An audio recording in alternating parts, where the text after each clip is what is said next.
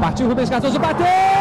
Gol! Renato se estica todo, levantou na área. Toque de cabeça, golaço! Gol! Pintou o Alex Mineiro. Tem espaço. Levantou na área, toque de cabeça, gol! E o Galo chega de novo, lançamento para o Alex Mineiro, deixou o goleiro na saudade, levantou para Wagner marcar o quarto. Não apareceram nenhuma vez entre os dez primeiros colocados na competição neste ano. Olha o Alex Mineiro enfileirando, vai marcar o quinto, um golaço!